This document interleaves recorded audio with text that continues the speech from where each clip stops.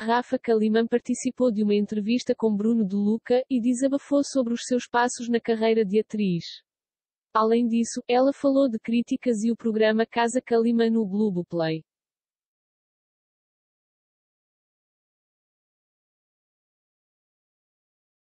Ao começar o assunto, a gata destacou as aulas remotas de teatro que vem praticando desde a saída do BBB 20. Apesar de gostar, ela se sente ansiosa para a experiência presencial.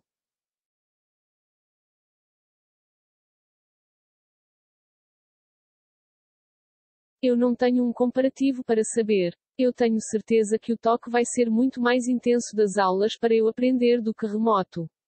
Mas eu já acho muito incrível. Eu já me orgulho disso de um jeito muito encantador. Eu acho que a minha percepção de vida mudou muito depois que eu comecei a estudar teatro, sabe?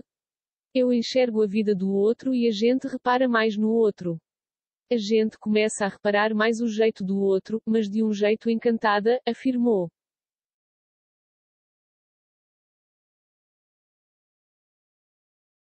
Casa Kalima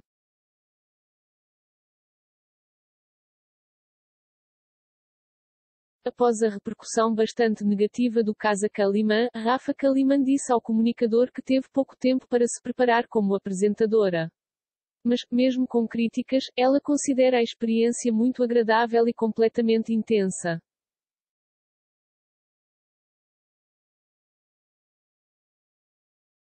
Eu tive pouco tempo para me preparar. Foi uma surpresa muito boa, muito boa mesmo. Eu sou muito grata com o programa, mas foi pouquíssimo tempo para eu me preparar para uma coisa tão diferente do que eu sou habituada a fazer nas redes sociais.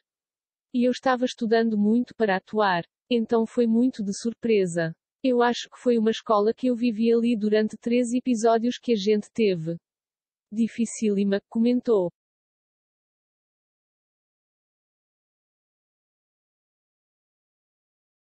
Na sequência, a ex-namorada de Daniel Caon disse que Tata Werneck elogiou o projeto.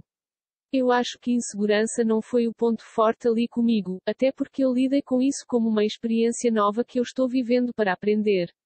A Tata conversou muito comigo também. Ela foi muito generosa. Aliás, esse foi um dos pontos mais incríveis, que a galera que passou por ali foi muito generosa comigo. Todo mundo, principalmente, a galera das mais antigas, falou ela.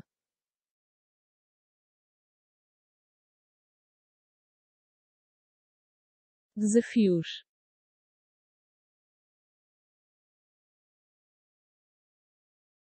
Ao concluir, Rafa Kalimann deixou claro que não se importa com os comentários sobre o seu desempenho na atração e críticas.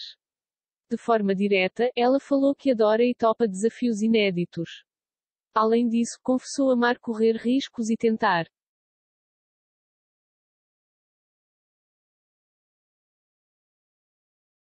Você não pode falar qualquer asneira, mas foi muito gostoso. Eu, hoje, tenho o presente de poder escolher viver novos desafios, entendeu? Acho que eu estou num momento da minha carreira que a minha vida na internet está muito legal e que já é um trabalho que eu construí nesses últimos oito anos e que eu posso experimentar.